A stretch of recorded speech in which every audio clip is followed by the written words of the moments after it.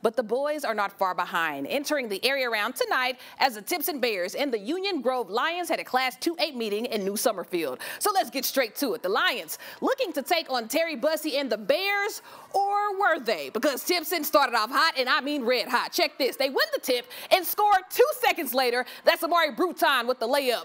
Then it's Terry Bussey on the fast break, going hard in the paint. Tough bucket. That man is a menace no matter the sport. Now, how about some Jackson Campbell from three, cash money, puts them up 12 to only a minute and a half in, folks. Now, this time, it is Terry Bussey from three, and baby, that's good too. Timpson has yet to miss a shot. Now, talk about a little bit of everything. Here's Bruton sends a three to the bottom of the net. Let's say he caught glass. Then he gets back on full court press, where he'll get the steal and cruise in for an easy bucket. That just about shows how the night was going for Timpson. And here's the final score. Oh my God, somebody call off the Bears or don't, as Timpson will go on to play Tenaha in the regional quarterfinals.